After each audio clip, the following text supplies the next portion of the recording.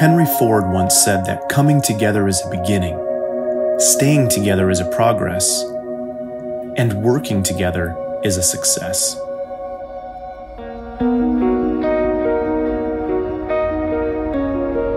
On this day, we had the chance to gather together with a growing group of friends to truly walk out the act of kindness and helping others. Not so we can gain the satisfaction of a reward, but rest in the knowing that we have helped to change a life. Tell me what your thoughts are about what it is we're doing here today. Why you gotta ask me questions that are gonna make me cry? Aww. I felt like I had the time to be able to give back to the community, so that's why I'm here. I spent, we went to every single one of the sections, and I tried not to cry because it's hard. Well, I mean, we have a responsibility to give back to others, right? Yeah. They're less fortunate, so. Okay, so it's early in the morning. We're all jammed in this truck together. Look at there's this like. what we're doing this morning though is we're doing a give back, and Todd and Sheila have set it up to where we go to. Where what are we going? Like a food bank, lover? Yeah. Yeah. So we're going to a food bank, and we're gonna organize all kinds of food to give back to those in need. And that's one thing that I think is incredible that we do here in this community is we just work with people like Todd and Sheila that set these things up, love. Like, I mean, it's kind of incredible, don't you yeah. think? Even though neither one of us felt like getting up so early this morning. No, no, no. Breakfast is not starting at 8:30. You got to be there at 8:30 to work. and for those of you that know Dellynn or remember this video right here, you'll know that lover is not a morning gal. But you know what? Uh, we're actually excited. I'm excited about it. I think it's going to be awesome, and I'm I'm grateful to be able to get up and give back with these awesome people and do it together with this community because that's what we're here for. As we arrived at the New Braunfels Food Bank in Texas, we joined together with over 150 different RVers from all over the United States and even Canada. We couldn't help but observe this massive facility and wonder what exactly goes on here. After Todd introduced our group to the staff at the food bank, we learned that this was the largest group of volunteers they've ever had attend their food bank to help serve this community. The staff shared a little more about what goes on here and what we were going to do. They set us up into groups, divided out all the tasks, and we began to head out into all the different areas of this center. I'm going gardening. That is 60 pounds of ground turkey. Wow. It's going to feed 360, make 360 meals. We've got uh, the senior community that we do Meals on Wheels for, and then we've got two uh, Head Start programs, one out in Seguin, one in New Braunfels, that come and pick up meals as well from us. Oh yay, I'm glad you found us. I borrowed Jennifer's camera to record, so I'm like, keeping it. Amongst all the weapons you got there? Because we had to cut the cabbage heads off, pop them in here, and then take the rest of the root and go put it in the compost. So we needed these, but I'm making sure to clean up, you know. Clean up, clean up, everybody do your share. Scott, what's going on here, buddy? I'm just uh, playing in some gravel, man. Nice. having some fun. All right, we're gonna go ahead and just dump some of this right there. Yeah, hit the corners first to hold the uh, we all began to learn that we were there for much more than just food preparation. As the line began to form around the building, we realized this was much larger than handing out canned goods to those in need, but that this food bank is a full blown give back center dedicated to help the broader community around them. This center has a full commercial kitchen, freezers, and refrigerators that look like you're in a grocery store, all the way down to raised gardening beds so they can plant, grow, and harvest fresh produce for their community. We were blown away at the amount of resource that they are truly providing.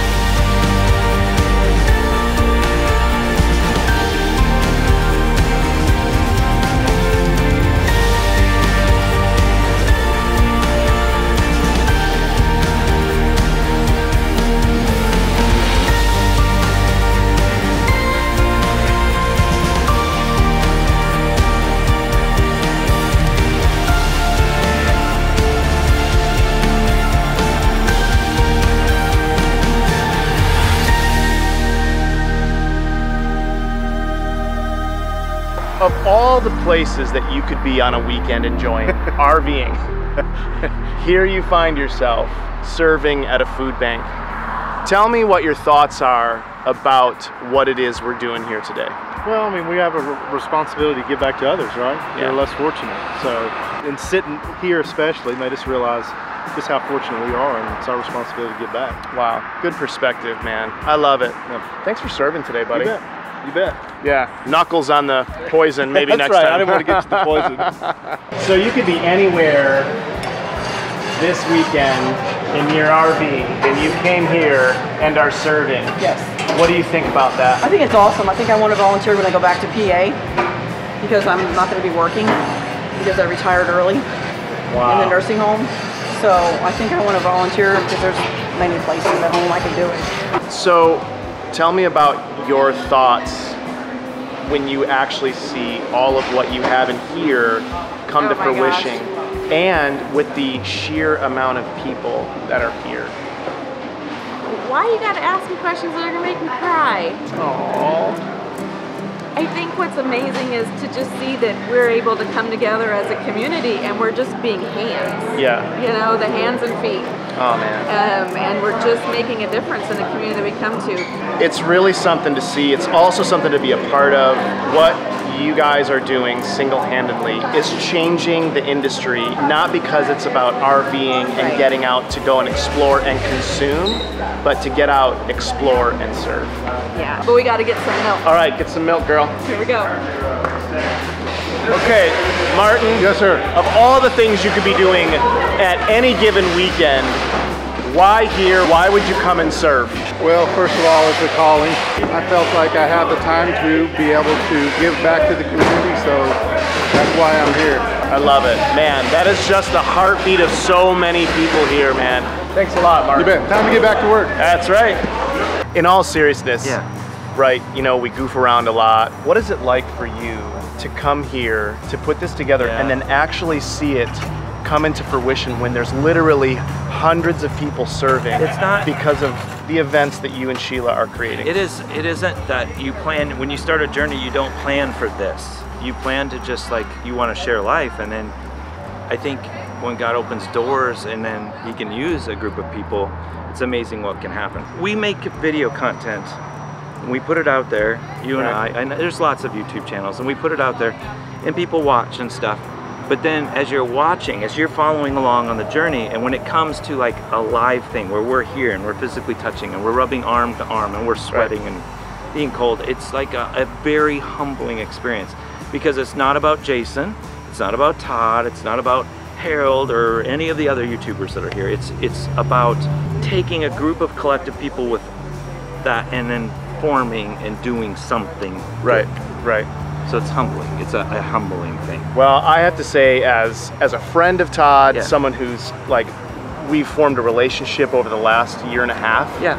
It's been like an honor and a pleasure, and Oh, yeah. and just to be able to be a part of this journey, uh, it's really touching to come and see all of all the things that he and I have talked about behind the scenes actually coming to life. Yeah, and I know there's lots of channels and everybody's doing different things, but when it's something that we physically put together and we do, it that's the that's the crazy part. I cannot say enough amazing things about the people that have showed up in the hearts of the individuals that are here. It's pretty touching. I spent we went to every single one of the sections and I tried not to cry because it's hard. Because this fills the heart. Like Yeah. this that and community fills the heart. So Yeah. yeah, this makes cool. your cup run over, buddy. Yeah, good job. good. We're having like the philosophical life lessons that a garden teaches and how like we need this. We need it. the bonding that happens when you're working together in a garden. I know. There's really nothing quite like a garden, is there, lover? No, I mean like And getting dirty. Yes. I mean, it's kind of fun that you have a real excuse. Right to get your hands right in there and just like get messy and like get dirty and Yeah, you don't have any gloves on, lover. I know. It's because I didn't want them. You want to feel the earth.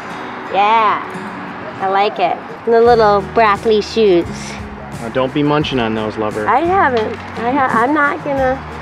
I'm saving it all for the people who need it. Get a little sample, little broccoli Nope. sample. I wanted to, I was tempted, but I'm not doing it. Elena, what are you doing? I'm killing things. well, I thought we are supposed to be serving. We are. As I'm filming, I'm filming Dellynn serving, all these guys, look at all these cats serving and working. And I just thought, how in the world can I possibly stand by and just watch? So I gotta jump in, I've gotta serve and be a part of this just as much as anyone else because that is the satisfaction of it. Telling the story is one thing, actually grinding it out and serving with others, that is where the rubber meets the road.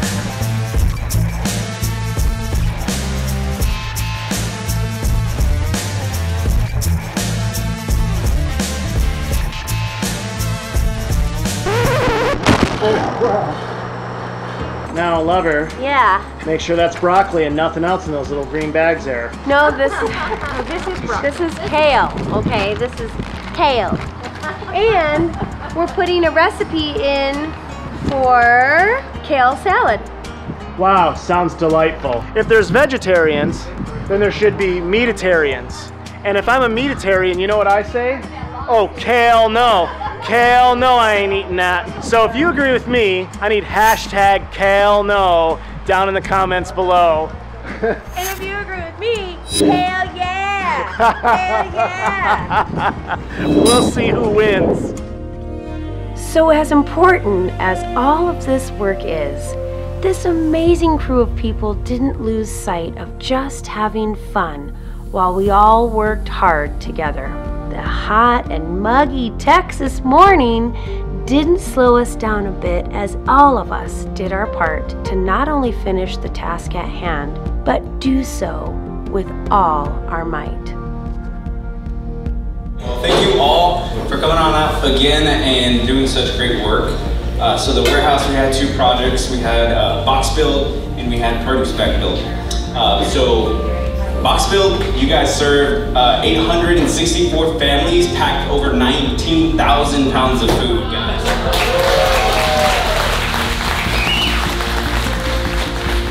Uh, produce build did an amazing job, just as amazing as the box build. You guys did 540 families, over 6,500 pounds of food.